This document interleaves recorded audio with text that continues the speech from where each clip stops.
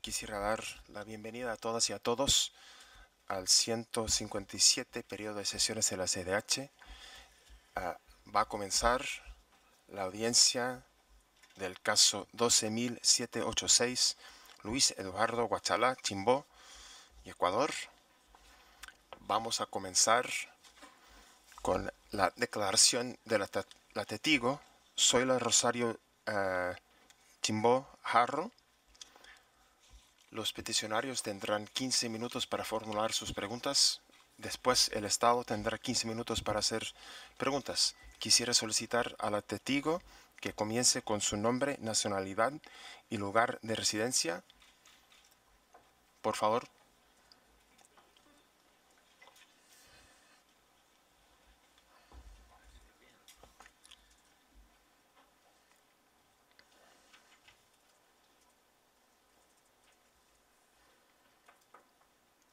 Muy buenos días, señora Zoila Rosario Chimbo Jarro.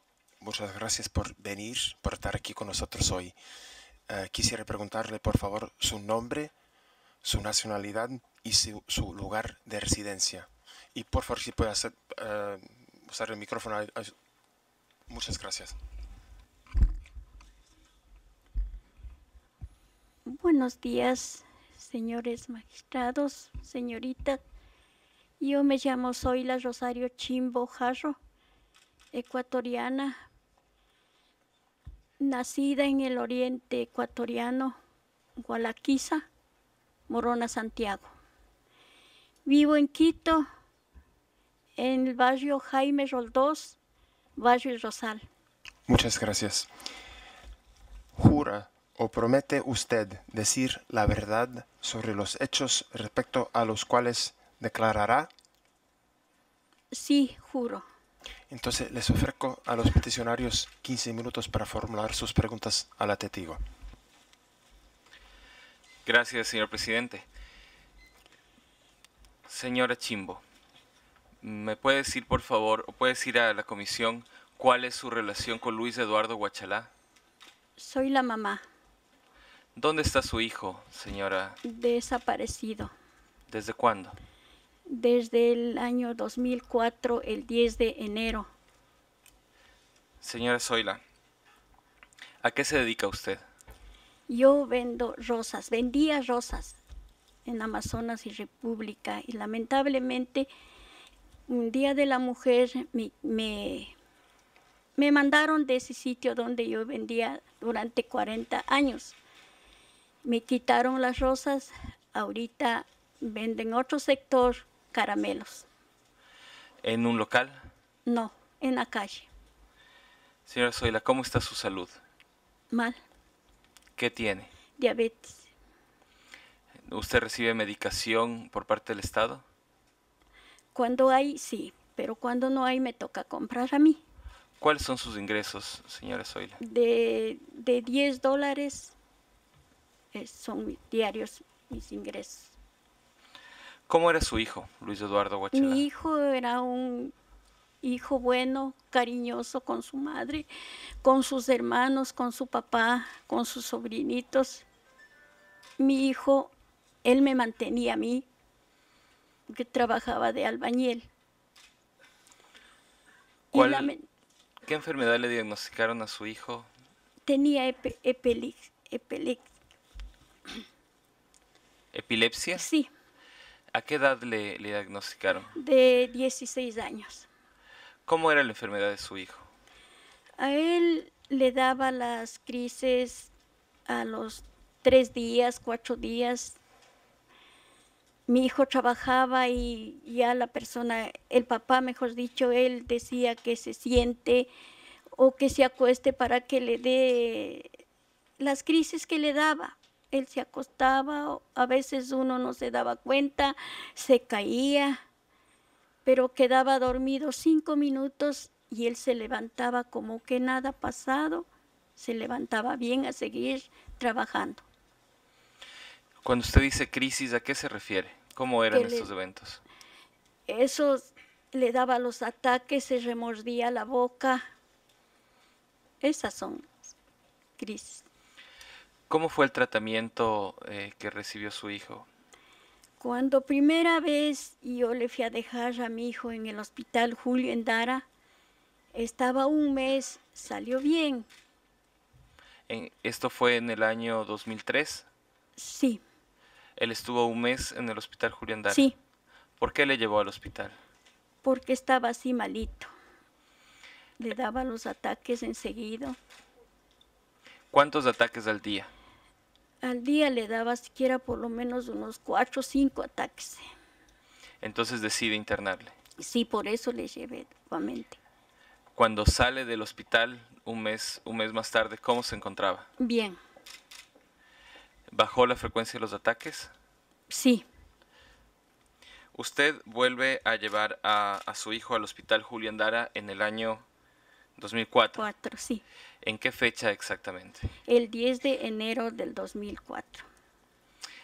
¿Cómo, cómo fue el traslado de, de Luis Eduardo al hospital? Y yo le llevé un taxi de un vecino del barrio.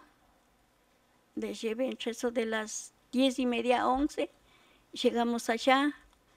Mi hijo, él iba consciente, solamente espiaba para arriba, pero me decía que a dónde le llevo. Yo le decía que le estoy llevando al hospital a curarte, mijito. Bueno, mamita, me decía. Él fue todo bien. Él se daba cuenta a dónde le estaba yo llevando. ¿Qué edad tenía él cuando le internó en el hospital? 23 años.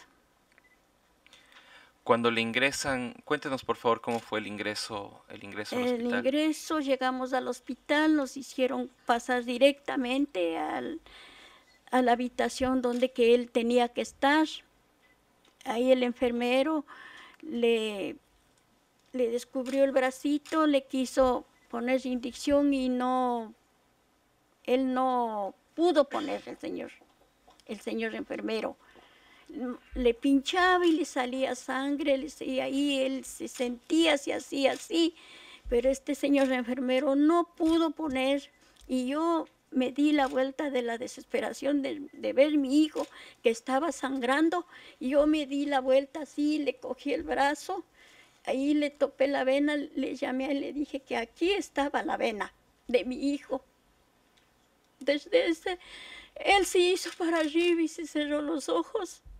Y el enfermero me dijo, señora, ya váyase nomás, el lunes venga para comprar los medicamentos. Yo regresé el día lunes 12 de, de enero del 2004 a comprar los medicamentos. Yo pasé directo a donde le dejé mi hijo y no estaba mi hijo. Me fui al, al consultorio de, la doctora E- Erika Quimbiurco. Le digo, buenos días, doctorita. Ya vengo a comprar los medicamentos, pero yo no le encuentro a mi hijo. Me dijo, señora, el joven Huachalá está sedado. Pero ¿cómo, señores? ¿Cómo si mi hijo estaba sedado? ¿Cómo se fue a la peluquería? Eso es lo que yo no, no comprendo, cómo si mi hijo estaba sedado, él estaba andando. La, la doctora le Sí. dijo a usted Sí, ese ella- día. ella Estamos, estamos hablando del día lunes 12 de enero. Sí, El día del lunes 12 de enero no le permitieron verle a su hijo. no, La, la doctora le dijo a usted, eh, le dio varias referencias de dónde estaba. ¿Cuáles eran Sí. esas referencias? me dijo que está en la peluquería. No le encontré en la peluquería, me, estaba solo el señor sentado leyendo el comercio. Y yo me dirigí nuevamente al, a comprar los medicamentos. Ya regresé comprando. Yo le iba espiando, espiando, vele a mi hijo, pero no asomaba a mi hijo entre los otros pacientes. Usted abandona el hospital ese día, el 12 de enero, sin ver a su hijo. ¿Por Sí. qué abandonó el hospital? porque la, la doctora me dijo que me vaya nomás, que no era conveniente que yo le viera a mi hijo, por lo que los pacientes quieren seguir a los familiares. ¿Le dijo eso de buena manera? No, molesta porque yo le, mole- yo le iba y le iba a decir que dónde estaba mi hijo, que qué, por qué no asoma mi hijo. Usted en el transcurso de esa semana llama al hospital y habla con la doctora. Sí, eh, eso no me acuerdo, fue el martes o el miércoles, yo le llamé, me dijo, ah, señora Guachalá, ahorita le estamos suturando la frente, que se ha caído en el patio. Entonces yo, yo me puse asustada, me puse a llorar. Le dije, doctorita, yo en este instante me voy. Me dijo que no, que no es mayor cosa. No venga, señora Huachalá, porque usted vive lejos y no me vi. ¿Cuándo vuelve usted al hospital Julio Andara? Yo regreso el domingo. Y el 18 domingo- de enero. Sí, el domingo 18. Y yo que regreso, ahí la puerta estaba abierta, eh, un enfermero me dijo, a usted, usted es la mamá del Huachalá. Le dije, sí, soy la mamá de Luis Eduardo Huachalá. Dijo, "Eh, ¿no llegaría a su casa o, o donde su familiar? No, le dije, yo no tengo familiares en Quito. Yo soy de Cuenca, pero él no conoce Cuenca. Él le llevé, pero de pequeñito, no puede acordarse para irse. Bueno, dijo señora, espere. Cerraron la puerta y después de una media hora que yo desesperada lloraba y porque ya me dijeron que mi hijo se ha desaparecido. Y ahí me abrieron, después de una media hora que había ya bastante gente. ¿Denunció usted la desaparición de su hijo? Sí, ¿Dónde denunció? en la- antes que decían la PJ, ahí. ¿Recibió por parte de alguna autoridad del Estado ayuda para, para buscar a su hijo? No, En esos días, eh, doña Zoila, usted, ¿cómo, ¿cómo fue la búsqueda de su hijo en los días posteriores a su desaparición? yo sola con, con mis hijos, con unos vecinos de ahí del barrio, alquilamos una camioneta, buscamos por todo ese sector del hospital y nadie me decía que por aquí le vi. Íbamos con fotos de mi hijo, pero nadie, ni hasta el mismo guardia, dijo que él no ha sabido absolutamente que se ha salido mi hijo. ¿Usted insistió al hospital para que le den información sobre el paradero de su hijo? ellos, yo les dije que por favor, en dónde estaba mi hijo. Entonces ahí dijo que ya el deber mío era que yo tenía que buscar, pero ellos nunca me ayudaron a buscar, jamás. Señora Chimbo, ¿usted sabe si el hospital Julio Andara es un hospital público o privado? Público. Señora Zoila, además, em, usted denunció a la fiscalía la desaparición de su hijo. Sí, yo lo denuncié, me fui a los dos días ya cansada de buscar por todo ese sector de Sangolquí, todo en el Tingo, Conocoto. Me fui, regresé a la fiscalía, le pregunté al señor fiscal, le dije que qué será, me dijo, ¿qué pasó? No encontró. Eso era la palabra. Después, no, le dije yo. Después dice, y ahora ya se perdió. Que ya está perdido, que si no tendré otros hijos para ir a cuidar. ¿Cómo es eso justo? ¿Por qué tenían que decirme así? Yo sé y sigo desesperada sin mi hijo. Él era el sustento de mi casa.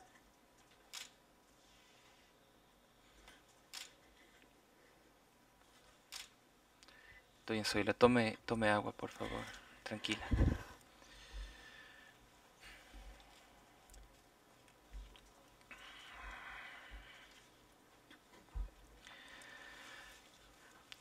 Luego de cuántos años se reactivó el proceso de, de investigación?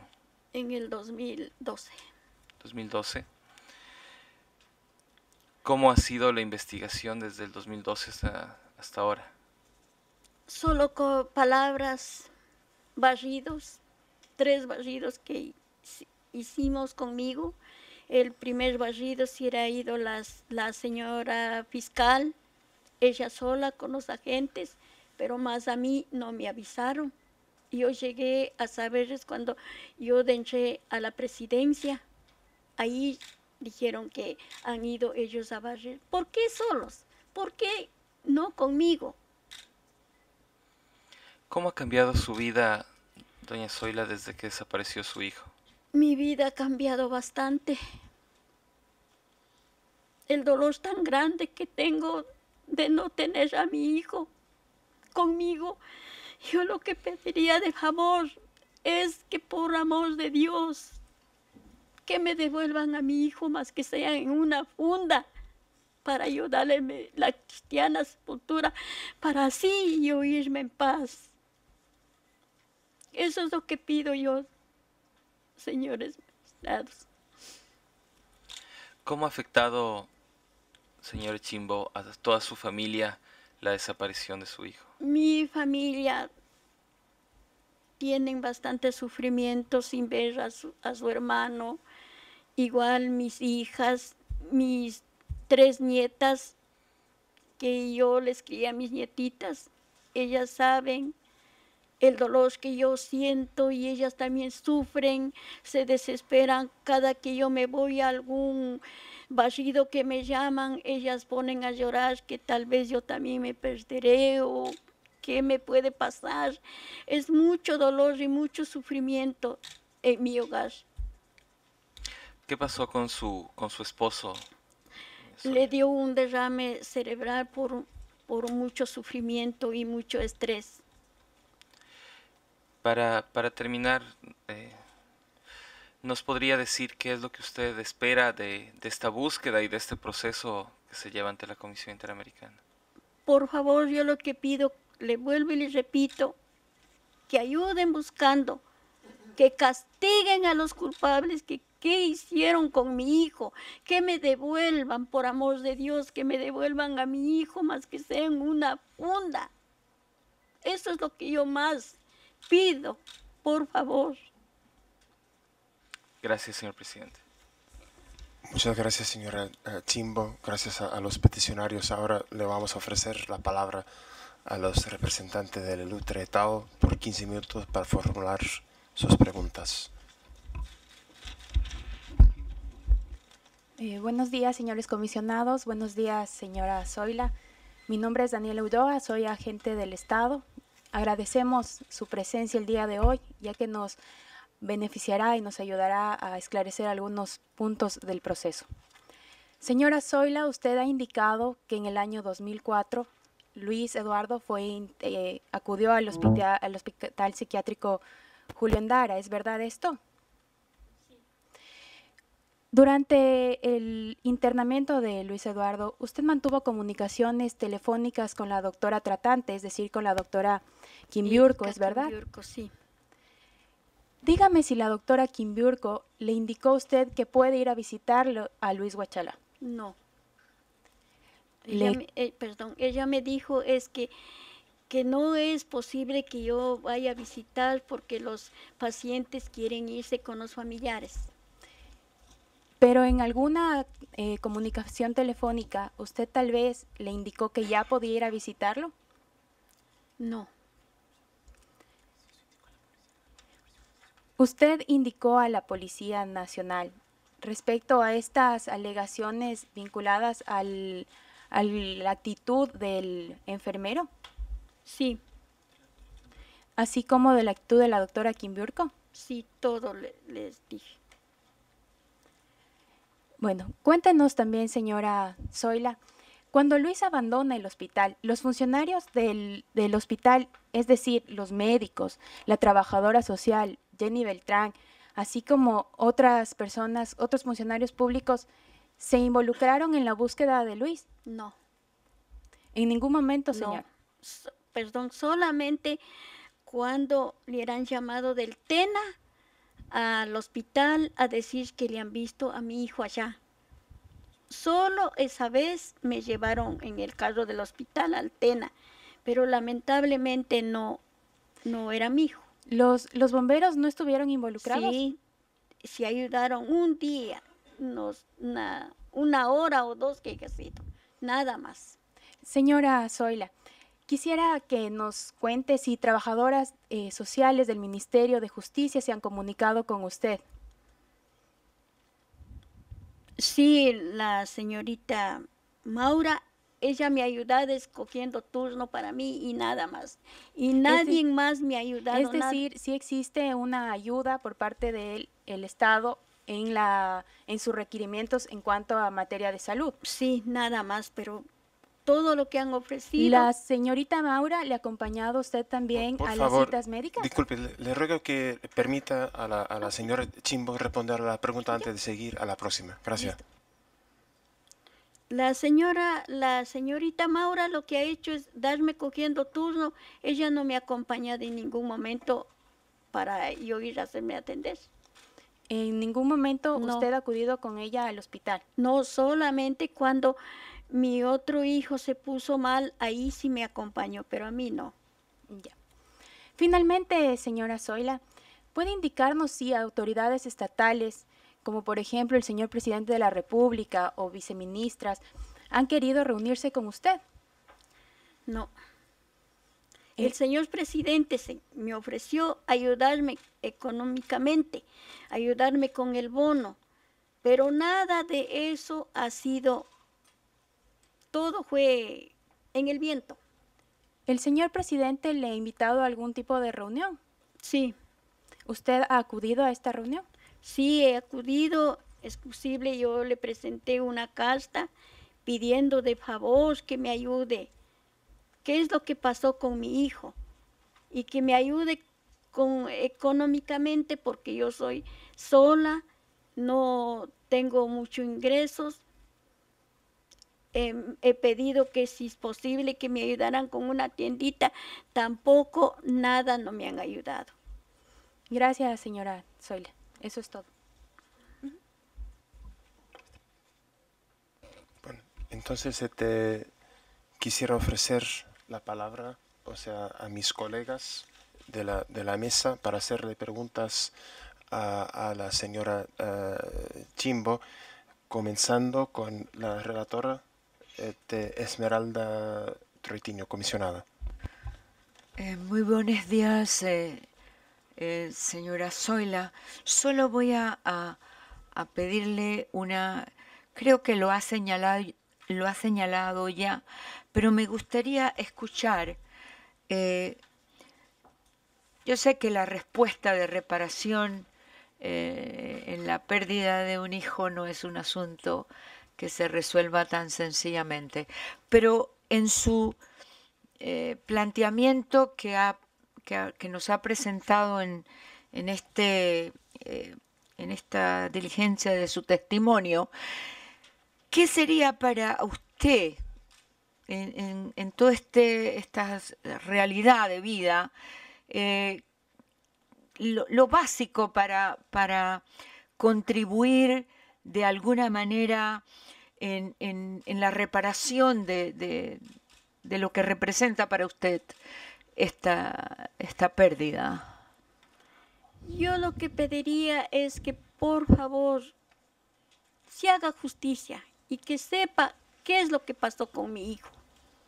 Eso es lo que pido, para ya no sufrir mucho nosotros los ecuatorianos, madres ecuatorianas, que ya no sufran como yo he sufrido. Hay otros casos que también son desaparecidos del hospital.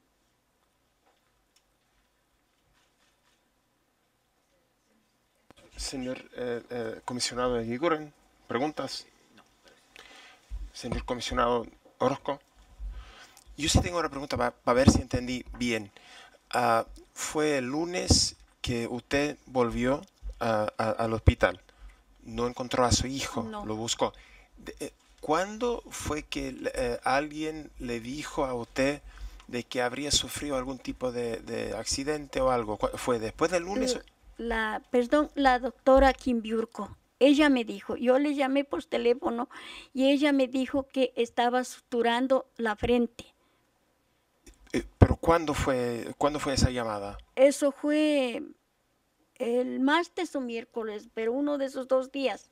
Ok, Es decir, después del, del lunes, lunes que yo le busqué. que buscó usted Sí. y que no se encontraba Sí, en el sí, hospital, Sí, después recibió una llamada Yo- sobre este, algún tipo de incidente que habría acontecido con su hijo el martes o el miércoles, es decir, Sí. que después de- de- del momento en que se habría de alguna forma salido del hospital. ¿Así es? sí. Ok, perfecto. Eh, eh, mi colega, este, comisionado Igorren, tiene otra pregunta pa- para usted. Señora, buenos días. Eh, yo quisiera, eh, a ver, eh, aclarar algunos hechos. Su hijo estuvo internado en el mismo hospital dos veces, ¿no es así? Sí. Yo quisiera que comparemos un poco, quisiera preguntarle algunas cosas. La primera vez que su hijo estuvo internado, usted nos manifestó que estuvo internado un mes Un más o menos y que salió bien. En Sí. ese mes que estuvo su hijo, en esa pri- primera ocasión, eh, ¿Cómo era la cosa? ¿Usted alguna vez eh, lo pudo ver, lo pudo visitar? Sí, ahí sí. Ahí sí lo pudo ver. Y cuando su hijo terminó su estancia en el hospital, eh, usted fue a recogerlo y salieron con un procedimiento formal que daba cuenta que él salía de alta, todo así. Sí, Muy bien. Y durante ese mes, de esa primera vez, el diálogo que usted tenía con el hospital era eh, esencialmente con la doctora tratante. ¿Ese era su contacto con el hospital? sí, porque ella, desde que yo me fui, ella me ha dicho que no puedo estar yo mucho tiempo con mi hijo, que Claro. por lo que los pacientes ven a, a los familiares Claro, y claro. quieren seguir aún. Ah, Claro, pero su diálogo era con la doctora y, Solo con ella, y sí. era, frecuente y usted vio a su hijo más de una vez. Sí, la primera vez. Sí, la primera. Ahora vamos a la segunda. La segunda vez, en verdad, eh, duró poco tiempo la segunda vez, ¿no es Sí. así? Ya. Y allí, en verdad, nunca lo pudo ver. No, desde el día que yo le dejé. Ya. Y cuando usted va y después de varias informaciones no muy precisas, eh, vuelve a llamar y es donde la doctora, es la misma doctora, ¿no es así? Sí. Le informa que habría tenido un accidente y que está siendo tratado. Y luego usted va y no lo encuentra. Sí, Eh, el hospital le dio alguna, a través de alguna autoridad, una respuesta oficial de decir eh, su hijo se ha perdido, se ha desaparecido, se ha ido, o fue con la misma doctora? no, solamente el enfermero me dijo, su hijo se salió de aquí, Ya, de aquí del hospital. Si no ha llegado a mi casa Ya. o, a, o a, a su vez en algún familiar. claro. Entonces yo le contesté que yo no tenía familiares. No, claro. Eh, le pregunto casualmente, haciendo la comparación, porque si la primera vez hubo una salida oficial donde usted lo recoge y se da un alta, pues eh, llama la atención que pudiera haberse dado en el segundo caso, tan pocos días después del internamiento, eh, una salida espontánea, digamos así. Y el hospital seguramente tiene algún personal que vigila la puerta de seguridad, que registra eh, la salida de un paciente. No. Eh, ¿No le informaron a usted No. si había un registro oficial de su No. salida o simplemente fue un decir se fue? No, el guardia lo que me dijo a mí es que él no ha sabido en ningún momento que se ha, que se ha desaparecido su hijo, me dijo. Claro, Por- y ni nadie ha dicho por acá salió. No, nadie, Claro, no está registrada porque una persona que estaba internada de cualquier hospital medianamente civilizado, y en este caso fue así y lo es, y fue en el primer caso, hay un registro de su salida, ¿no? Un médico autoriza su salida y si es una persona Sí. enferma no sale sola, ¿no? ¿Usted piensa que su hijo salió del hospital No, o que algo pasó ahí dentro? algo pasó allá adentro. ¿Y usted tiene alguna hipótesis de qué cree que pasó? Yo, de corazón de madre, me dice que mi hijo no salió de ahí. Ahí pasó algo, pero no sé, pero ahí pasó algo. Muchas ¿Por gracias. qué, señora. perdón, por qué no quieren hacer otro barrido en el hospital? Eso yo quisiera saber, ¿por qué? Sí, le vamos a preguntar seguramente al Estado, no se preocupe. Gracias. Este, quisiera ofrecer la palabra, a, no, señor este, comisionado Orozco, a mi colega eh, Elizabeth Abbey Michelle, este, secretaria ejecutiva adjunta. Gracias, señora. Si escuché bien, usted nos mencionó que han habido otros casos de pacientes desaparecidos del hospital. Y la pregunta es si usted podría describirnos un poco qué tipo de caso o qué tipo de circunstancia. Aquí tengo, señorita.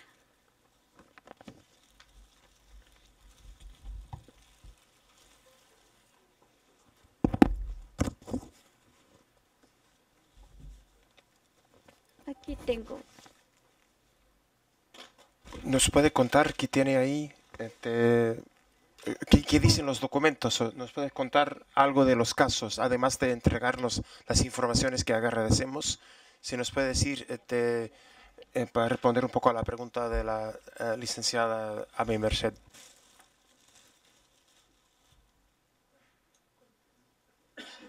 del este este chico se perdió del hospital Eugenio Espejo de emergencia con todo y camilla. Hasta que la mamá va a comprar los medicamentos ella que regresa estaban entre cinco personas de los familiares. Ella que regresa ya no asomó el hijito de la señora se desapareció de emergencia con todo camilla.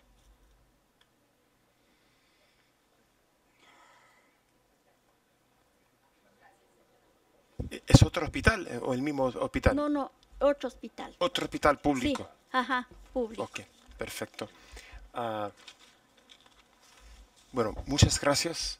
Ah, ah, con esto termina esta parte. Ah, señora Chimbo, ah, por parte de la comisión quisiera este, manifestar nuestra solidaridad con la pérdida, o sea, o sea, todo lo, con lo que ha pasado, desaparición, eh, disculpe, de su hijo y agradecer su presencia acá y eh, lo que el testimonio que nos ha dado que es de suma importancia para la comisión. Muchísimas gracias. Ah, con eso puede levantarse y ya vamos a seguir a- o, o quedarse. Ah, seguimos con la próxima fase de la sesión.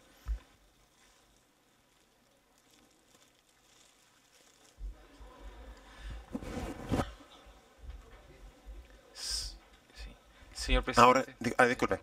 Ah, le, ahora eh, eh, le ofrecemos a la parte peticionaria por un periodo de 20 minutos tiempo para hacer eh, sus alegatos. Señor presidente, antes de empezar, queremos solicitar que se nos permita pasar un corto, un corto video acerca de, que, que puede poner un poco más de contexto acerca de la vida de, de la señora Zoila Chimbo dentro de nuestro tiempo. Dentro de los 20 minutos, perfecto. sí. Y en segundo, y la segunda petición es que se nos permita reservarnos tres minutos eh, para hacer una réplica al Estado dentro de nuestros 20 minutos también. También autorizado. Gracias. Sí, por favor.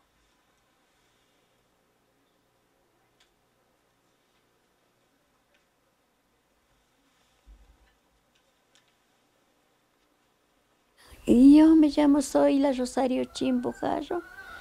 Nací en Gualaquiza, Parroquia Rosario, Morona, Santiago. Tengo 64 años. Yo vendo confites en la calle, negocio informal. Tengo mis gallinitas, mis conejitos, así ya cuando están grandes les aviso, me compran y con eso es lo que sostengo yo para mi comida y para ir a buscar a mi hijo. Yo vendía las rositas antes en Amazonas y República, pero lamentablemente me, ya me quitaron esa esquina. He vendido alrededor de 40 años y ahora recientemente ya no puedo vender. Vino el, el carro del municipio, me fueron quitando y ya no pude yo recuperar. Me dijeron que pasado de las 8 de la noche puedo yo vender. Imagínense cómo yo voy a vender pasado a las 8 de la noche en la edad que tengo y de noche, ¿qué horas voy a llegar yo a mi casa? Y mi hijo era tan bueno, el único hijo que era bueno, cariñoso con su mamá, con su papá, con sus sobrinos. Él se llevaba bien con sus hermanas. Era bien bueno mi hijo. Y yo le fui a dejar a mi hijo en el hospital Julio Endara el 10 de enero del 2004. Y yo le interné ahí porque mi hijo sufría de epiléptico. Y le dejé ahí, me fui el 12 de enero, ya no le encontré yo a mi hijo, ya no le volví a encontrar hasta el día de hoy. Yo lo que quiero es saber la verdad. ¿Por qué? Porque así van a pasar muchas personas como yo, como mi familia sufre, como yo sufro. Muchas personas, muchas madres van a, van a pasar como yo estoy pasando ahorita. Entonces yo no quería, no quiero yo eso que pase. Yo cuántas veces les ruego así por medios de canales que por favor que me den a mi hijo, más que sea en una funda, más que sea un pedazo, pero que sea de mi hijo. Yo quiero verle a mi hijo para los días que voy a tener yo, pero quiero verle a mi hijo.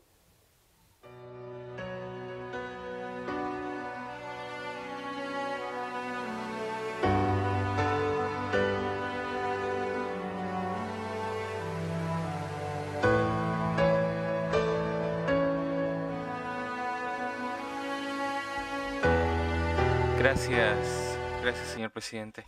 Eh, doy la palabra al doctor Mario Melo, coordinador del Centro de Derechos Humanos de la Universidad Católica del Ecuador. Honorables comisionados, señores representantes del ilustre Estado ecuatoriano. ¿Dónde está Luis, Luis Eduardo Huachalá? Esa es la pregunta que desde hace 12 años la señora Zoila Chimbo no ha podido responder. Lo que sí ha podido decir en esta misma audiencia es que el 10 de enero del año 2004 ella fue a dejar a su hijo, que estaba aquejado por una grave dolencia de índole psiquiátrico, en un hospital especializado del Estado ecuatoriano para que lo atiendan y para que lo cuiden.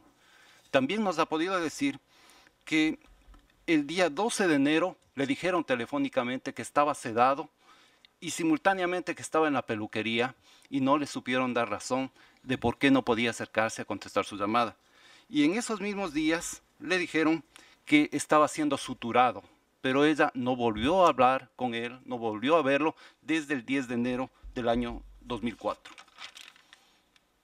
El 17 de enero, según un enfermero que escribió un oficio y que consta en el expediente, el 22 de septiembre del año 2004, eh, dando conocimiento de la novedad al director del hospital, dice que Luis entre las 14 y las 14 horas 30 del 17 de enero del 2004 había desaparecido. Pero a la madre solo le informaron a eso de las 11 y 12 del día, del día 19 de enero. Entonces, hay, hay algunas horas, en primer lugar, siete días que no se sabe qué es lo que sucedió con el señor Guachalá. A las 24 horas de su supuesta desaparición, el, señor, el enfermero le informa a la señora Rosario Chimbo y solamente se informa a la Policía Nacional por parte del hospital el 19 de enero, es decir, dos días después de que supuestamente se ha registrado la desaparición. ¿Qué pasó con Luis Guachalá entre el 10 de enero y el 18 de enero del 2004? No lo sabemos. ¿Dónde está ahora? No lo sabemos. Demasiadas preguntas sin respuestas. ¿Quién debería responder estas preguntas?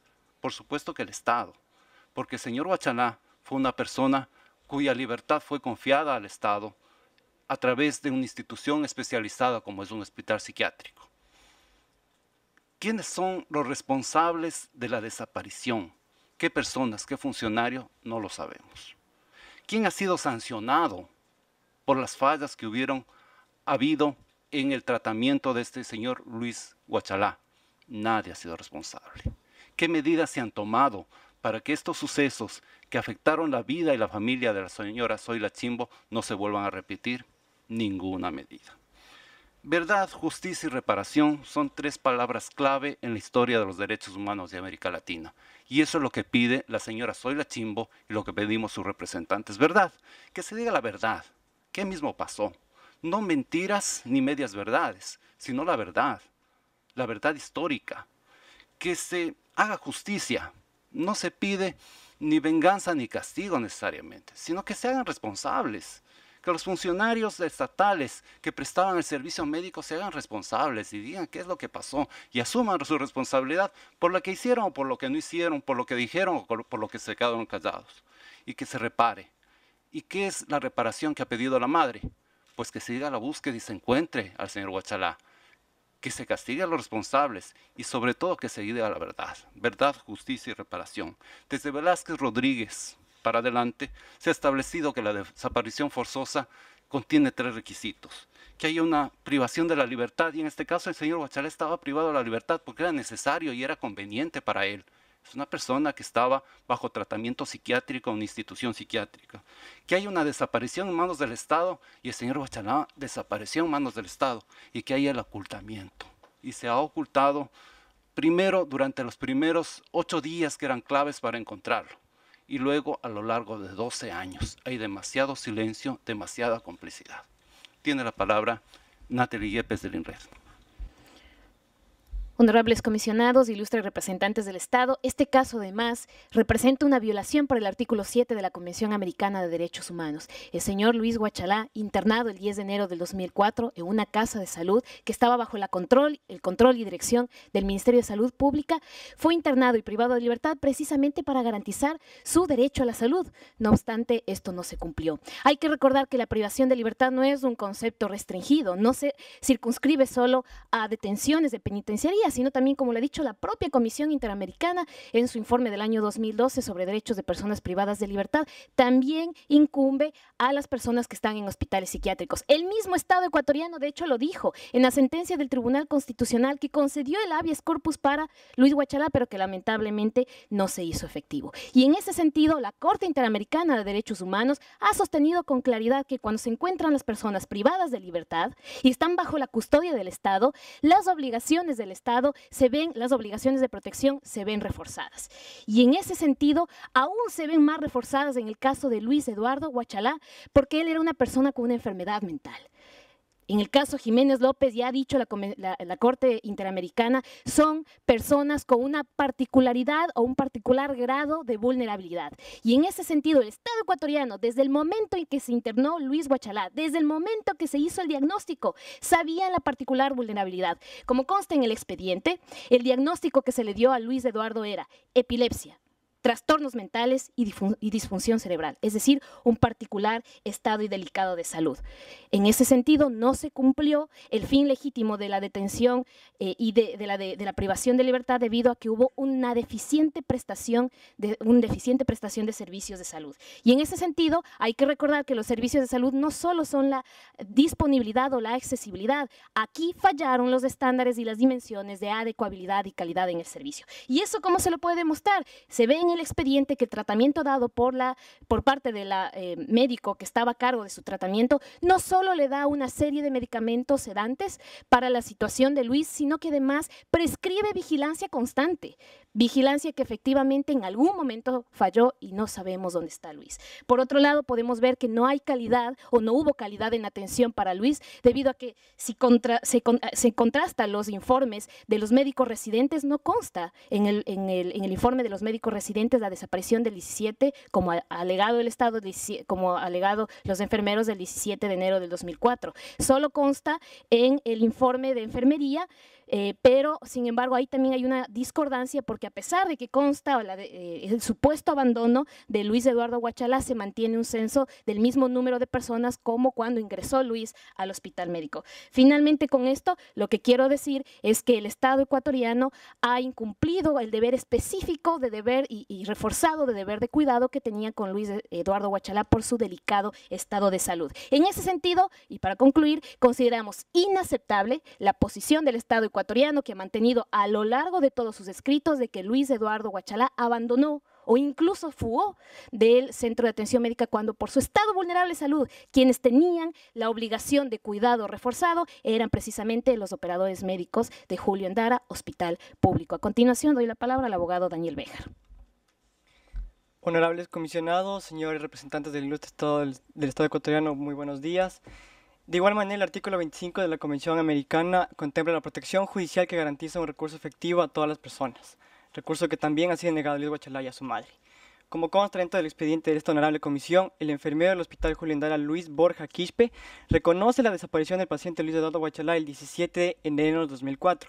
Sin embargo, no se comunica la desaparición sino hasta dos días después mediante una llamada telefónica, sin que esta llamada pueda considerarse de ningún modo como una denuncia formal ante el órgano competente.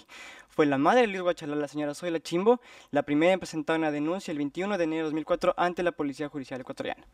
La Corte Interamericana ha sido muy enfática en el caso Velázquez País, al indicar que en situaciones de grave vulnerabilidad como la situación de mujeres o, análogamente, la desaparición de un paciente psiquiátrico fuertemente medicado, el Estado tiene la estricta obligación de iniciar durante las primeras horas de los primeros días una investigación seria. Sin embargo, el hospital y el Estado han escudado su negligencia de hacerlo inmediatamente, alegando que era un día sábado, fin de semana, fuera del horario laboral y por eso esperaban hasta el día lunes. De igual manera, la Corte se ha manifestado sobre el recurso idóneo. En el caso Rocha Hernández indicó que el recurso idóneo es aquel que se efectúa a la mayor brevedad, una búsqueda seria en la cual realice todos los esfuerzos para determinar el paradero de la persona, la cual debe realizarse de manera sistemática y rigurosa, y que las mismas deberán ser informadas a sus familiares y en lo posible procurar su presencia. Como pudieron escuchar el testimonio de la señora Zoila, esto no ocurrió. También se evidencian largos periodos de inactividad eh, se debe entender que en casos de desaparición forzada los estados tienen la obligación tanto de dar con el paradero de la persona desaparecida como de investigar y sancionar a los responsables, lo que a través de una actuación administrativa, que es la forma en cómo el Estado maneja todos los casos de desaparición en la actualidad, no puede ser considerado de ninguna manera como un recurso idóneo y mucho menos como un recurso idóneo. Finalmente, el habeas corpus presentado y aceptado por el Tribunal Constitucional en 2005, a pesar de ser reconocido ampliamente por la jurisprudencia interamericana como el recurso idóneo y efectivo para proteger la vida y la libertad de las personas, hasta la presente fecha no ha sido debidamente ejecutoriado. Por lo tanto, en el presente caso, el Estado ha fallado en proporcionar un recurso efectivo para esclarecer la verdad de los hechos sobre la desaparición de Luis Guachalá, así como sancionar a los responsables. Cedo la palabra a Michelle Erazo del Centro de Derechos Humanos de la Católica. Buenos días, comisionadas, comisionados. De los argumentos expuestos en esta mañana y del testimonio que ustedes escucharon por parte de doña Zoila, podemos desprender tres conclusiones principales. Primero, la desaparición de Luis Guachalá del, del Hospital Especializado Julio Endara comprende una desaparición forzada a la luz del artículo 1 de la Convención Interamericana sobre Desaparición Forzada y además vulnera el derecho a la vida, la integridad y la libertad personal de Luis. Segundo, es evidente la responsabilidad de funcionarios estatales que tenían una obligación reforzada de cuidado frente a Luis, al encontrarse privado de su libertad y frente a la situación de vulnerabilidad por su condición de salud, lo cual vulnera el artículo 7 de la Convención Americana de Derechos Humanos. Tercero, el Estado debía tutelar de oficio los derechos de Luis Guachalá, desde el momento en que, sucedió su desaparición forzada de manera oportuna, sistemática y continua. Sin embargo, hasta el día de hoy, ninguna de las diligencias administrativas ha tenido resultado para dar con el paradero de Luis Guachalá, lo que vulnera el derecho a la tutela judicial efectiva de Luis. Por último, la violación a la integridad física y emocional de doña Zoila, como ustedes presenciaron de su argumento, y en base a la jurisprudencia de la Corte, refleja la angustia que genera el no conocer el paradero de una persona desaparecida. Es de la magnitud de la vulneración del artículo 5 de la Convención respecto a la integridad física y psicológica de doña Zoila. Y para finalizar, haré una afirmación que el Estado no puede desvirtuar. En el Hospital Julio Endaria, a manos de funcionarios públicos, o existió una negligencia criminal o alguien no nos está diciendo la verdad y por eso no podemos conocer el paradero de Luis. Por todo esto, a continuación, nuestro petitorio, solicitamos a esta honorable comisión declare la responsabilidad de los derechos reconocidos en el artículo 3, 4, 5, 7 y 25 de la Convención Americana de Derechos Humanos, todos en relación al artículo 1 y 2 de la Convención. Y además, reconozca medidas de reparación integral entre las cuales se considere que se reconozca la desaparición de, Luis Guachalá como una desaparición forzada y se inicien investigaciones y se determine responsables. Segundo, que se dé un plan integral de servicios y seguridad hospitalaria en todos los centros psiquiátricos del Ecuador que no repitan los hechos para otras madres. Y tercero, que frente a la deficiencia actual del sistema de salud y las necesidades sociales del Ecuador, se construye un nuevo hospital psiquiátrico, con todos los estándares de seguridad, cuidado y calidad que lleve el nombre de Luis Eduardo Guachalá. Todo esto sin perjuicio de las medidas que solicitemos en nuestro escrito de fondo, hasta aquí nuestra intervención. Muchas gracias. Muchas gracias. Eh, con esto eh, ofrecemos la palabra por 20 minutos a los representantes del ilustre Estado ecuatoriano. Buenos días, señores comisionados. Buenos días a los representantes del peticionario. Buenos días a la señora Soyla Chimbo a los presentes. El Estado ecuatoriano hará su intervención dividida en tres etapas. La primera será un poco aclarar o tendrá la finalidad de aclarar algunos hechos del caso. La segunda se pronunciará las actuaciones del Estado a través de diversas instituciones públicas y finalmente las alegaciones. Quisiéramos solicitar de igual manera al señor presidente de la comisión que se nos otorgue un par de minutos al final para la dúplica igual. Reservaremos dentro de nuestro tiempo, por supuesto. Es importante señalar después de lo que hemos escuchado ahora, eh, hacer ciertas apreciaciones sobre el caso. En primer lugar, eh, sobre los hechos y, particularmente sobre los, los, los, periodos de internamiento del señor Huachalá, existen varias, varias documentaciones en el expediente que son discordantes. Aún así, de lo que escuchamos ahora, también hay algunas, algunas fechas, algunos datos que se deben aclarar. Particularmente hay tres eh, situaciones que debemos aclarar. La primera, la que está constante en la declaración rendida por la señora Zoila Chimbo ante la Policía Judicial un par de días después de, eh, de los hechos del caso. Lo segundo, una declaración juramentada que se la efectuó un año después eh, a través de un eh, rendida ante notario público y lo que hemos escuchado ahora. Algo que es importante para el Estado señalar es que el señor Huachalá, como ya se lo he dicho, estuvo internado en dos ocasiones en el hospital Julio Endara. La primera vez en el año 2003, en donde recibió un tratamiento efectivo, eh, en donde estuvo un mes internado y del cual pues se le dio el alta y eh, durante el periodo en que estuvo internado, de, de, acuerdo a la propia declaración rendida ante la Policía Judicial, su madre le visitaba periódicamente. La segunda es la intervención realizada en el internación, perdón, realizada en el año 2004 por hechos o por un, presentarse un cuadro similar. Entre el año 2003 y el año 2004, entre la primera y segunda internación, existe un hecho importante y es que por la falta de atención o por la falta de, eh, realizar los controles al señor Huachalá, por no haber accedido a los controles, su situación se volvió a complicar y tuvo que internar. ¿Quién le atendió en el 2003 al señor Huachalá? Fue la doctora Erika Quimbiulco. De acuerdo a los propios hechos del caso, la doctora Quimbiulco le atendió de una manera eficiente y se le prestó el servicio tal y como debía ser, al punto que el señor Huachalá salió en una mejor condición de la que había ingresado. Sabemos que es una situación complicada la que él tenía, ya se ha dicho cuáles eran los síntomas que tenía, pero hay que reconocer que en el 2003 el señor Guachalá salió eh, en, buenas eh, condiciones de salud. Cuando ingresa en el año 2004, a quien se le asignó para que le atienda es a la misma doctora Quimbiulco, la misma doctora que le había atendido con bastante eficiencia en el 2003. Algo que es importante señalar, y está en la declaración eh, rendida ante la Policía Judicial, que es anexo de la petición, es que la señora Chimbo, cuando eh, presentó esta declaración, confirmó lo que también está en otro anexo de presentado en la petición, eh, a través de un informe de la doctora Quimbiulco. Y es que la señora Huachalá, sí, efectivamente, el, en el 12 de enero se le dijo que no era conveniente que, que, visite a su hijo por un tema de salud. Esto va a ser desarrollado más adelante por el representante del Ministerio de Salud. Pero lo que es importante señalar es que el día 14 de enero, esto está en la declaración rendida ante la Policía Judicial, eh, la señora Chimbo se comunicó con la doctora Quimbiulco, quien le informó le manifestó que su hijo estaba en una mejor condición de salud, que estaba en estado ambulatorio, es decir, que ya podía eh, o había recuperado varias de sus facultades y que podía irle a visitar. Esto es importantísimo, que podía ir a visitar el día siguiente, luego el día jueves está también en la declaración que podía ir a visitar a su hijo y también está en la declaración que el día viernes podía visitar a su hijo. ¿Por qué es importante esto? Porque después de la, intervención de la señora Chimbo se dio a entender como que el señor Guachalá ya había desaparecido para el día 12. Es importante señalar que si la doctora que le trataba solicitó a sus familiares que le vayan a ver, era evidente porque el señor estaba ahí. Eso es algo que se tiene que entender. Si no, ¿qué persona con, con, la conciencia de que está desaparecido le invita para que le vayan a visitar? Es importante aclarar esto porque eh, para que no se eh, confundan los hechos del caso.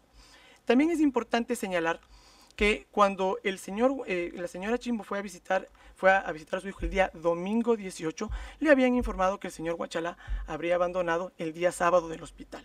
Respecto a las actuaciones que el Estado ha realizado, se hará una profundización sobre esto a través de dos líneas, lo que ha hecho el Hospital Julio Endara y lo que ha hecho el Estado a través de la policía y directamente de la DINASED. Cedo la palabra a la doctora Escandón. Buenos días, señores comisionados. Buenos días, señores, señora En realidad, un corto resumen para hablar sobre el estado de la atención de salud mental en el país. En primer lugar, nosotros nos manejamos de acuerdo a las normativas, lineamientos que salen desde el Ministerio hacia todas las unidades operativas. Ninguna unidad operativa tiene una actitud fuera de la norma. Como instituciones de salud pública, en este caso un establecimiento de salud que presta atención a las personas que tienen problemas psiquiátricos, esperamos y estamos prestos a la atención cuando las familias o los pacientes se movilizan hacia nosotros.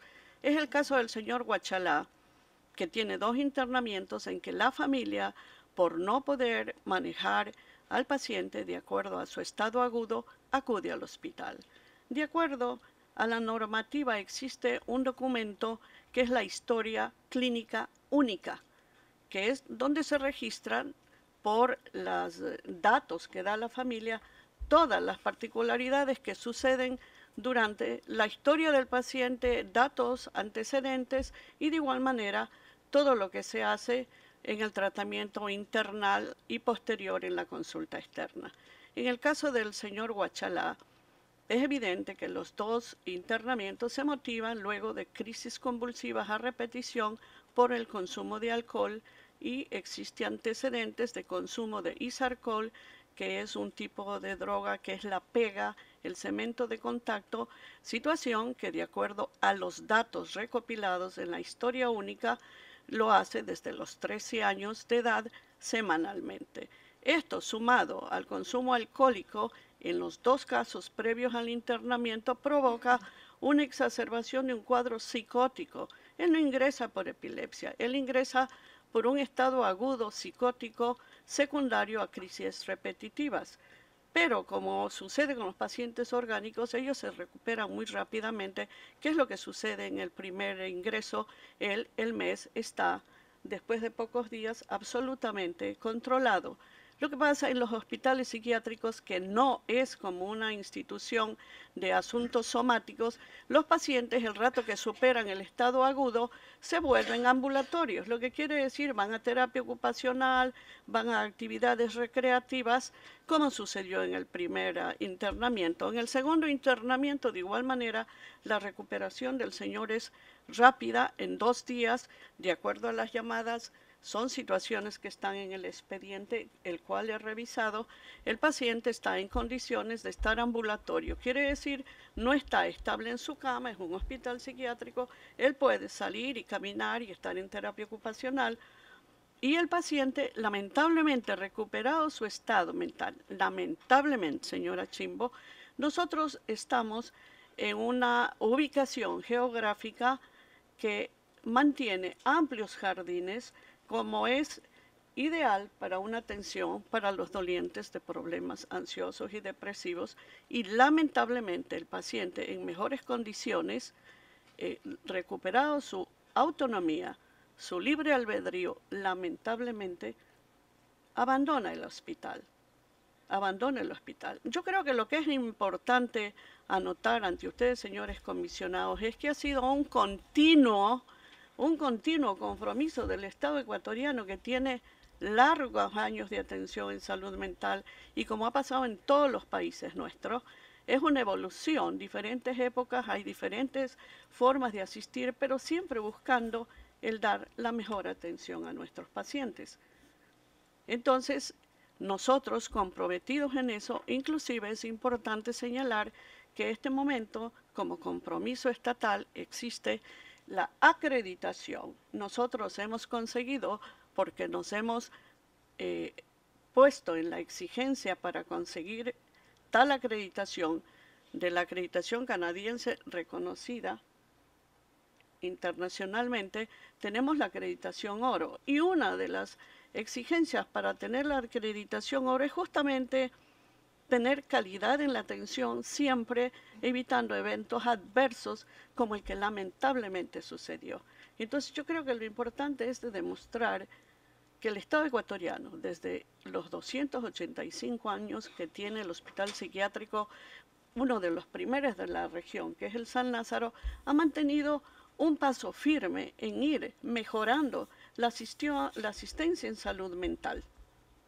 Entonces yo creo que como Estado se ha manejado en su momento histórico de la mejor manera. Tanto es así que el paciente clínicamente evoluciona muy bien. El primer mes, el primer ingreso de un mes, se logra, señor, de acuerdo a un manejo civilizado, el que nosotros podamos hacer formalmente el alta. Pero igual en el expediente existe, tanto en enfermería como trabajo social, el alta del paciente por abandono del hospital. Yo creo que es todo. Muchas gracias. Buenos días, honorables comisionados. Soy el coronel Jorge Flores, jefe de la Unidad de Investigación de Desaparecidos de la Policía Nacional del Ecuador. Al iniciar, permítame solamente dos puntualizaciones que me parecen absolutamente importantes en lo que guía la investigación de la presunta desaparición de Luis Eduardo Guachalá Chimbo. La primera, decir que hasta el año 2004 en que se produce la presunta desaparición, la Policía Nacional, a través de su servicio de Policía Judicial, era la encargada de la investigación de los delitos y de las desapariciones en el país.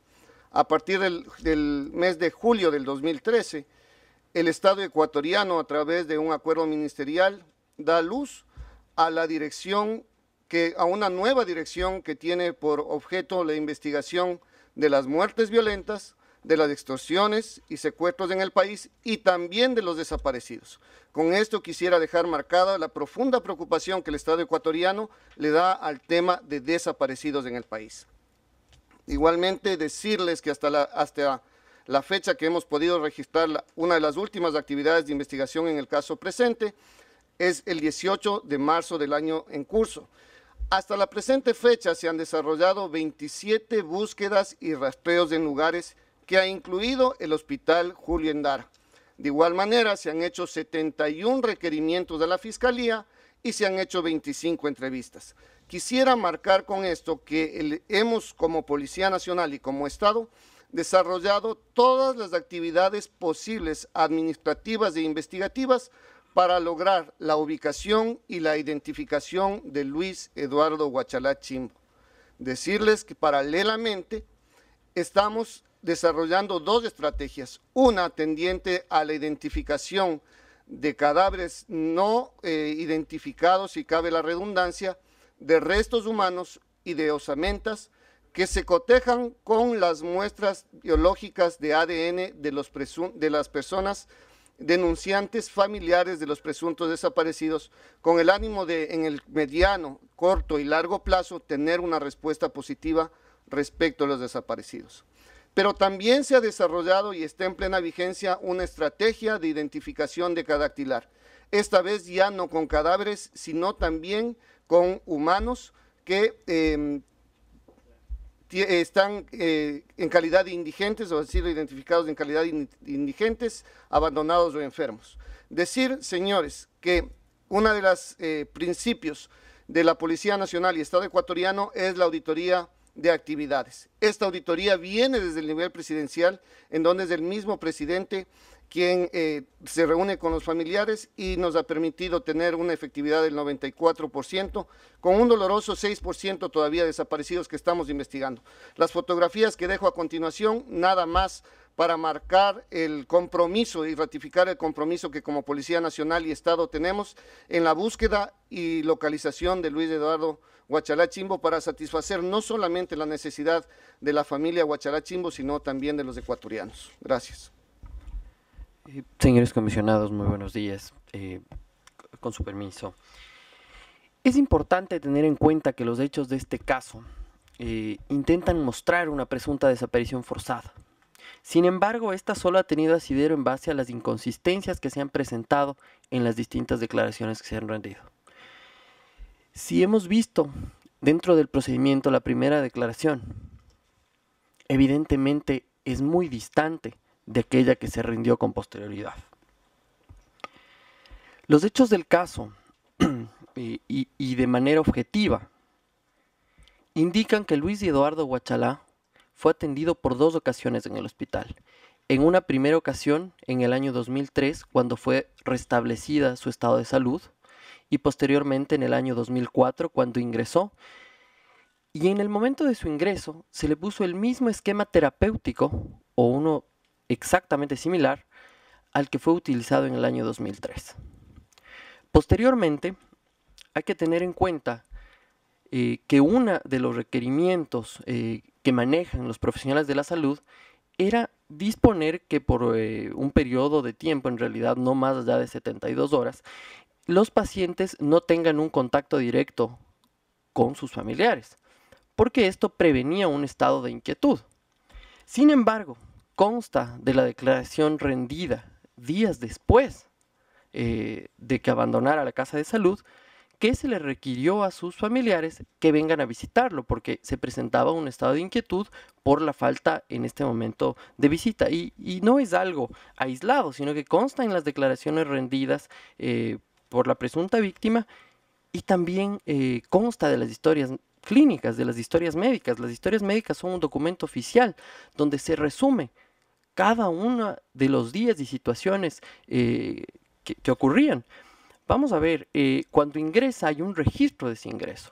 Al día siguiente hay un registro de lo que se hizo, de cómo fue evolucionando, en este caso, el paciente. Tal es así que para el día 15 ya había una evolución, ya habían recobrado ciertas facultades. Es decir, el tratamiento estaba siendo efectivo como lo fue en el año 2003. Lamentablemente, entendemos eh, que por la inquietud y otros factores, el, señor Luis Guachalá abandonó el hospital. En todo caso, se debe decir que el Estado ecuatoriano eh, cumple y ha cumplido en la mayor medida posible los estándares internacionales que lo han hecho merecedor en la actualidad a una certificación importante, en la cual ya no se puede mirar desde la ciencia médica a, los centros, eh, eh, en este caso a los hospitales psiquiátricos, como penitenciarías, sino que tiene una visión mucho más global eh, que trata de dejar atrás ese mito. Finalmente, ¿qué es lo que sucedió con posterioridad a que, a la en este caso, a que abandone eh, el hospital? Lo que ocurrió es que se abrió un proceso investigativo. Lo que ocurrió es que hubo un habeas corpus que fue efectivo, porque utilizó los propios criterios del máximo tribunal de este sistema interamericano para que sea posible y esta investigación no se cierre. Es decir, en la actualidad, hoy, se está buscando a Luis Guachalá. En este momento se están desplegando acciones. Es una investigación constante y que la efectividad del recurso ha sido que no ha cesado. Eh, con esto, eh, nosotros, más allá de las apreciaciones que hay posterior, eh, les agradecemos el uso de la palabra. Muchas gracias. le Ofrecemos a los peticionarios por un periodo de tres minutos el uso de la palabra para su réplica. Gracias, señores comisionados. En primer lugar, queremos rechazar algunas, algunas, eh, algunos hechos que se han mencionado por el Estado por ser irrelevantes. El consumo de alcohol o de alguna otra sustancia no resta responsabilidad a los directivos del hospital sobre el cuidado de Luis Eduardo Guachalá el hecho de que haya recaído su salud inclusive por varios factores entre los cuales estaba que la medicina que tenía que, tomar Luis Eduardo Guachalá tenía que comprarla y no tenían los, los, recursos para hacerlo, entre otros factores que pueden haber existido, no, no son hechos relevantes en todo caso para quitar responsabilidad al hospital psiquiátrico que tenía un deber de cuidado hay, que, hay que resaltar algo que menciona eh, la gente del Estado en su última intervención. El Tribunal Constitucional, en segunda instancia, luego de que eh, en primera instancia ni siquiera se tomó en cuenta el caso de Luis Eduardo Guachalá, porque simplemente para el, el municipio de Quito, que era la primera instancia en ese caso, simplemente no existía una privación de la libertad porque la persona estaba en un hospital psiquiátrico. El Tribunal Constitucional corrige ese error basado en la jurisprudencia eh, de los órganos del sistema interamericano y afirma que estar interno en un hospital psiquiátrico es una forma de privación de la libertad y que por tanto el Estado tiene un deber de cuidado con respecto a las personas que están dentro de los hospitales psiquiátricos. Parece irresponsable que en esta audiencia se afirme que simplemente porque mejoran las condiciones de los, de los pacientes, de estos pueden salir libremente de los hospitales psiquiátricos sin siquiera un control de salida. No estamos diciendo que se les impida a la fuerza la salida del hospital psiquiátrico, pero al menos debería existir un registro en el cual se diga el paciente abandonó el hospital y que sea mediante un alta en donde un médico diga que está en condiciones para abandonar ese hospital. El señor Luis Eduardo Guachala estaba sedado, tenía varias medicación que vamos a presentar oportunamente cuál era esa medicación. Bueno, consta en el expediente, vamos a tratar de interpretar mediante un experto esa, esa, esa información. Sin embargo, no estaba en condiciones de salir si es que además decimos que no solo era un paciente epiléptico, sino que tenía episodios psicóticos, con más razón no estaba en condiciones de deambular por la ciudad. Em, luego está el tema de la investigación, que es importante señalarlo no negamos que se han dado eh, acciones para encontrar a Luis Eduardo Guachalá. La pregunta es, ¿cuándo se dieron esas acciones? Como lo ha dicho la Corte Interamericana, los momentos claves para encontrar a una persona desaparecida son las horas posteriores a su desaparición. Y no es sino hasta más de 48 horas después de la supuesta desaparición oficial, que se, eh, según el hospital es del 17 de enero, dos días después, mediante una llamada al 911, es decir, al servicio de auxilio, se reporta por parte del, Estado la desaparición. Si es que realmente simplemente salió por la puerta Luis Eduardo Guachalá, el, el, enfermero que notó su desaparición pudo haber hecho la llamada y pudo inmediatamente activar esta, esta acción. Eh, simplemente decir que el 94% que, el que, menciona, eh, que se menciona sobre la recuperación de personas son personas recientes. Eh, no son personas, estos casos que llevan años desaparecidos, aún no hay una tasa alta de efectividad. Muchas gracias, señores. Muchas gracias. Por dos minutos el Estado tiene el uso de la palabra. Muchas gracias, señor comisionado. En este caso, eh, consideramos eh, que la intervención realizada eh, por el representante de la presunta víctima, esta última intervención, permite ver que este es un caso diferente, no es el caso que se ha presentado. Aquí no existe una desaparición forzada. Hay un elemento que parecería que es central para que haya una desaparición forzada. Y es que hay una negativa o un ocultamiento de información. Y esto no ha sucedido porque como lo han reconocido, el Estado ecuatoriano ha desplegado todos los esfuerzos posibles durante todos estos años, con una primera investigación y, posteriormente con eh, un fallo del Tribunal Constitucional que acertadamente hizo que esté abierta esta investigación. Es decir, este es un caso totalmente diferente al que nos han presentado en un inicio. La comunicación, como lo ha expresado el Estado, fue constante con la madre. Telefónicamente, cada uno de los días, según dice la propia declaración que fue recogida eh, con posterioridad a la desaparición, dice que tuvieron contacto y que le, que le informaba el estado de salud eh, de su hijo. Y adicionalmente, y, parece que es importante pensarlo. ¿Cuál era la real efectividad que podía tener en este caso el habeas corpus? La real efectividad del habeas corpus era que se siga, se continúe con la investigación. Y como lo hemos mencionado, hasta hoy esa investigación continúa y el Estado tiene el compromiso de seguir haciendo sus mejores esfuerzos para ubicar a todas esas personas eh, que no se conozca, en este caso, dónde se encuentran. Y con esto, muchas gracias, señor comisionado. Perfecto. Ahora nos toca a nosotros hacerles preguntas a las dos partes. Quisiera abusar del privilegio de estar presidiendo la sesión para hacerle algunas eh, preguntas muy concretas al Estado. El Estado acepta que el hospital Julio Endara era un recinto cerrado, ¿no es cierto? Es, cierto. Ok. Y acepta que tenía entonces la obligación de registrar las entradas y las salidas de los pacientes en, en condiciones parecidas con las de, de la, de la presunta víctima en este caso. Sí, como se encuentra en las, en las partes de eh, evolución por parte de las enfermeras, está escrito que el paciente abandonó el hospital. Disculpe, no fue esa mi pregunta. El Estado acepta que tenía la obligación de registrar no solo la entrada, sino la autorización de la salida de pacientes internados en condiciones como eh, las del- de la presunta víctima, el, eh, el señor Huachala, en este caso. Sí, se lo hace y está en la historia clínica. Digo, la obligación. acepta la sí. obligación de autorizar la salida de un, un paciente internado. Le correspondía en la época de los hechos la obligación de analizar y autorizar una salida. Sí, regularmente es como se hace. Ok.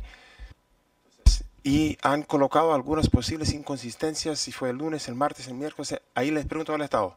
¿El Estado sabe cuándo eh, el señor Huachalá abandonó el recinto, el hospital, o no sabe? Sí lo sabe. ¿Y, y cuándo fue? El 17, ¿Y, y fue autorizada la salida? no. Entonces, y no, eh, para esclarecer los hechos, la salida no fue autorizada y fue destacada, o sea, disculpe, descubierta la salida, ¿cuándo? Es una salida irregular. Existe un- una notificación de enfermería de acuerdo a las actividades que se le realizaron el 17 en conjunto a todos los pacientes que tenían un internamiento agudo, que ellos reciben el baño, eh, inclusive hay un corte de pelo y en el cual está tarjado por la enfermera licenciada eh, Quinchiguano la presencia del señor Guachalá con firma de responsabilidad sobre que el paciente estuvo hasta las 12 del día en todas esas actividades. Está dentro de la historia clínica. Ok, entonces hasta las 12 horas del día 17 estaba en, en el hospital. Así es. Y Hay un reporte sobre aquello.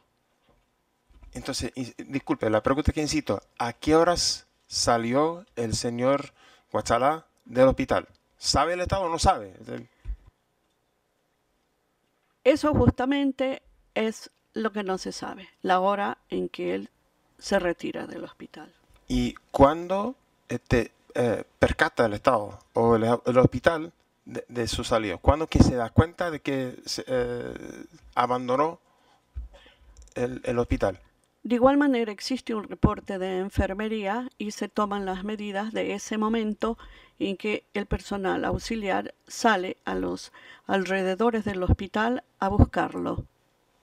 Ok, Disculpe, ¿a qué horas eh, se da cuenta el hospital de que el señor Huachalá habría abandonado el recinto? No me quedó clara la respuesta. Disculpe. En realidad yo no pudiera decirle con precisión la hora, lamentablemente. Y la primera eh, eh, acción del Estado en el sentido de registrar con las autoridades, con la policía o comenzar una búsqueda, ¿cuándo fue? El día lunes 19 de enero. Entonces, hasta- de- entre el día 17 y, eh, y el día 19 habrá salido, o sea, habría salido en ese periodo y no hay ninguna acción del, del hospital en el sentido de, buscar, de buscarlo. ¿Es así? El auxiliar, eh, como ha sido la norma en ese tiempo, sale a buscarlo en los alrededores. El día 17. Sí. Y al no encontrarlo, no hace nada por dos días. Sale a buscarlo, no lo encuentra, evidentemente. Y no registra el hecho o toma ninguna otra medida hasta el día 19. As- Son los hechos para esclarecer los hechos y ahí podemos ver las consecuencias jurídicas. En realidad lo alertan eh, a las personas. eh, Luis eh, abandonó el hospital y las personas están pendientes de localizarlo. Perfecto. Quisiera ofrecer la palabra a, a mis colegas, este, la relatora este, comisionada Troitiño. Eh, bueno, buenos días. Ya buenas tardes, no, no todavía buenos días. Eh, cuando decimos que hay el abandono del lugar, eh, esto implica la anuencia de la persona para, para salir del, lugar. Lo abandonó.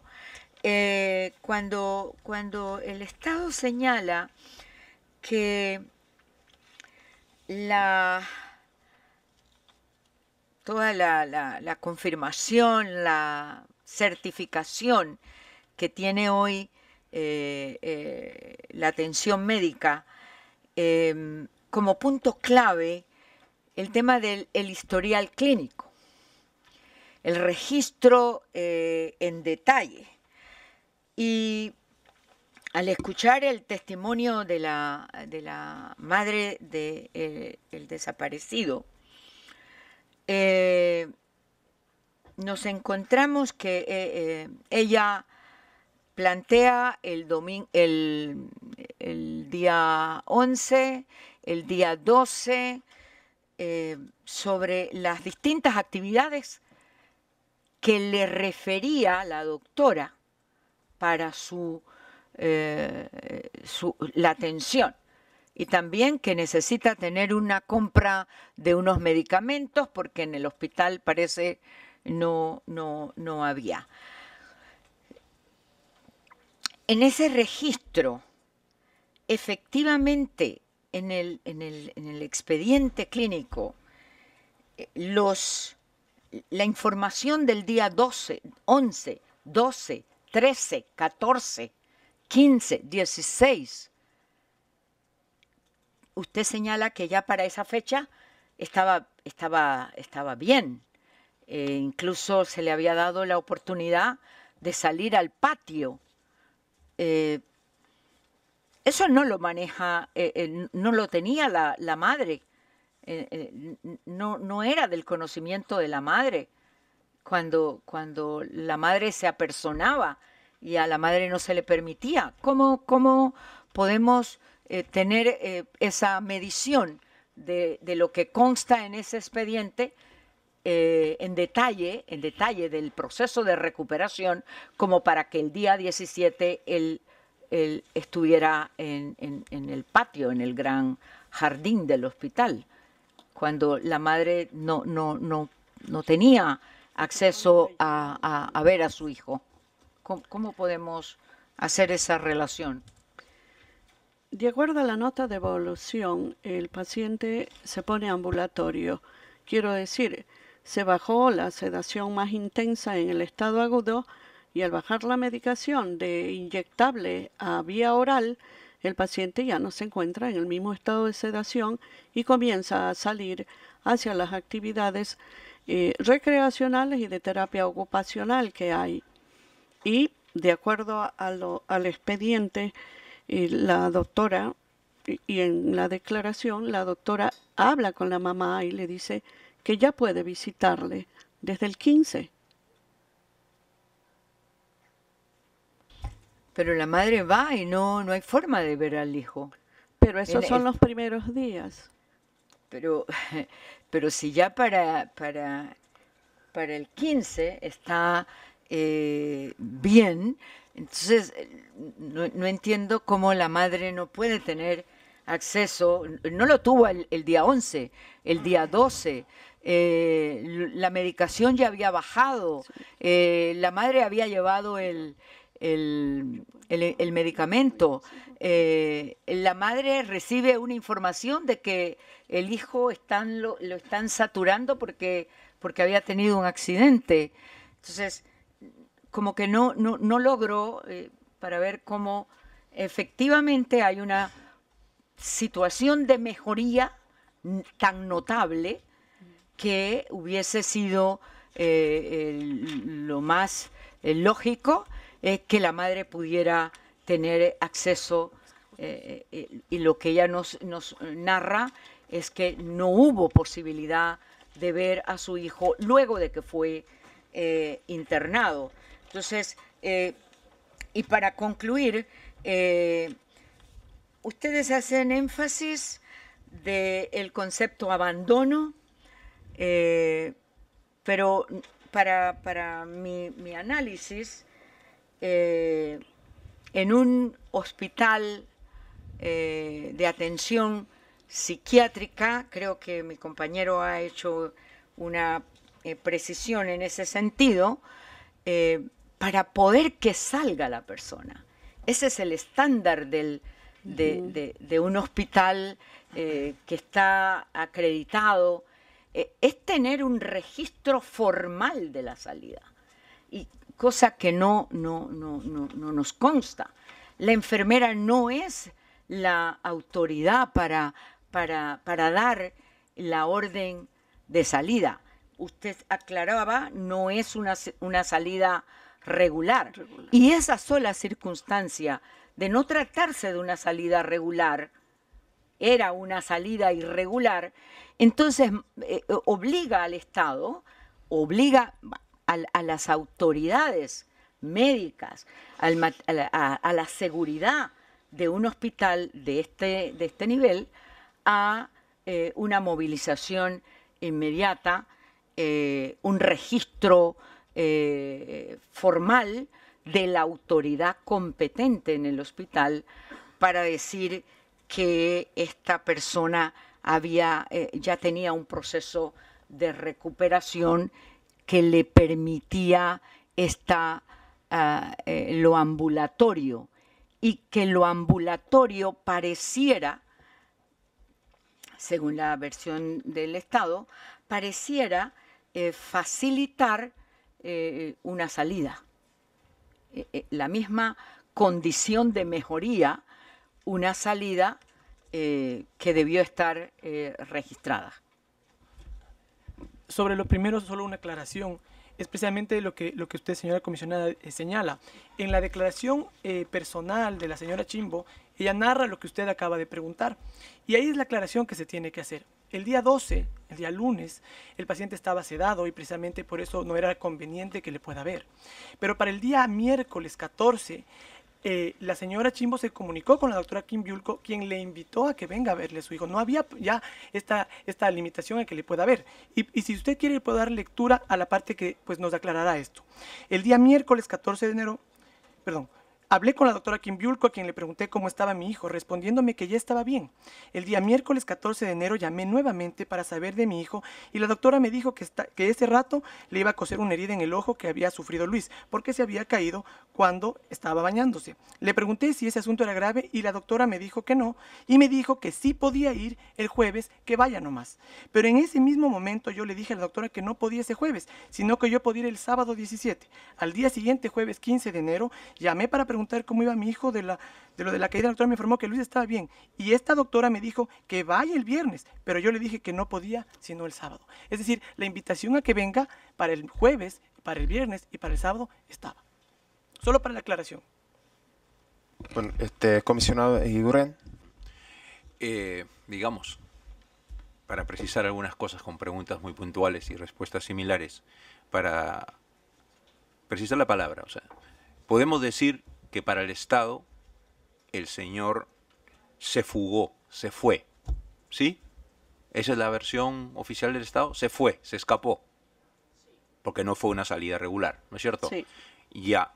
Y si una persona sale irregularmente de un hospital, un paciente que debe estar o permanecer internado, ¿no es responsabilidad de nadie?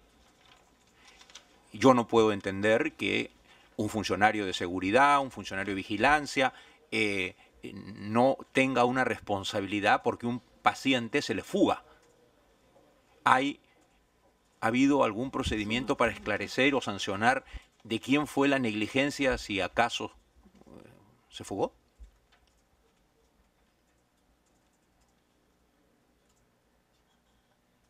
Eh, señor comisionado, al respecto, eh, no hemos preparado información, pero lo haremos llegar, haremos una búsqueda de todos, adicional a los registros y de, las personas que atendían. hay que dejar claro algo, y era que eh, a la fecha, eh, la norma internacional, inclusive en la actualidad, habla de, de 10 eh, eh, personas que están en tratamiento por un enfermero y el Estado en ese momento mantenía, digamos, este tipo de reglas. Sobre la pregunta que usted nos hace, ampliaremos con mayor información por escrito mirando cada uno de los expedientes. Claro, no, yo me imagino que después de tantos años es algo que seguramente se debería haber hecho hace bastante tiempo, ¿no? no sé si es un problema de que no se hizo o que no hay la información. La norma es internacional. Eh, únicamente, y quiero decir, ni, ni, en lugares donde los pacientes han perdido total autonomía, como sería un asilo de ancianos, existe un auxiliar por, por cada paciente. En nuestro estado, para el 2004, eh, ajustándonos a los requerimientos internacionales, teníamos un auxiliar de enfermería que cuidaba 10 pacientes. Quizás en terapia intensiva y en cirugía Ah, es menos el número.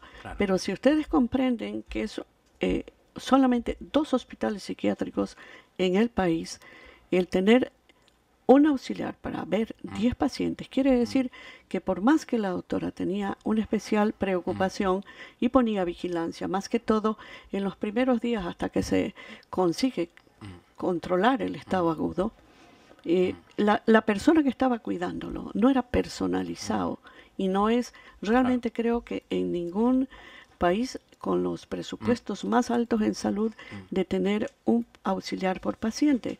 A pesar que él era muy cuidado, el momento en que tuvo que atender a otro paciente unos pocos minutos y dadas las condiciones de localización y cómo es arquitectónicamente el hospital, el paciente burla el cuidado Sí, no, mi preocupación era no por la enfermera o el enfermero o el auxiliar, sino porque la persona para salir de un recinto o sale por la puerta o sale por la pared. Y entonces supongo que eh, yo me refería a eso. Hay algún tipo de mecanismo de seguridad. No, no estoy pensando necesariamente en la responsabilidad de la persona tratante que tiene a muchos pacientes eh, que tener. Eh, por último, entonces yo debo entender que en opinión del Estado, este escape, esta fuga del paciente no le genera ninguna responsabilidad, porque el paciente se le fue. Existe responsabilidad, señor comisionado. Es tanto así que existen amonestaciones de diferente grado dependiendo de la falta. Ya. Y bueno, por último, cuando hay una responsabilidad, hay una reparación. ¿No ha pensado el Estado en alguna forma de reparación más allá de búsquedas infructuosas? Cabe aclarar que la, la, responsabilidad a la que se refiere la doctora se refiere a la responsabilidad administrativa y las sanciones administrativas en general. Eh, una vez más, eh, nosotros abundaremos con eh, documentación sobre esto. Ah, ahí, por, este, infelizmente se nos ha, ido el tiempo, pero quisiera ofrecer la palabra rápidamente, disculpe a mi colega este, comisionado Orozco y después a la secretaria adjunta para colocar preguntas las cuales, por favor, solicitamos que sean este, respondidas por escrito. Eh, gracias, ya de hecho las, mis colegas ya las han formulado. Yo le consultaría ambas partes para tener precisión. Al momento de ingreso y desaparición de Luis Eduardo en el hospital público, en el hospital, eh, eh, ¿quién era el representante legal? ¿Se representaba a sí mismo Luis Eduardo o era, era su mamá? En fin, tener claro, quisiera tener claro cómo estaba esta situación. Muchas gracias. Es muy breve al Estado, por favor. Eh, en 2004, ser que una persona habría abandonado a un centro psiquiátrico, eh, ¿Cuál habría sido el procedimiento, el reglamento, el protocolo? ¿Cuáles habrían sido los pasos a seguir para responder frente al supuesto abandono de una persona? ¿Cómo se llama? ¿Reglamento, protocolo? Eh, ¿Qué tipo de artículo? ¿Qué tipo de procedimiento? Para entender bien cuál habría sido eh, la respuesta requerida. Gracias. Bueno, agradezco a las dos partes, a la señora Chimbo de nuevo por haber venido. Muchísimas gracias.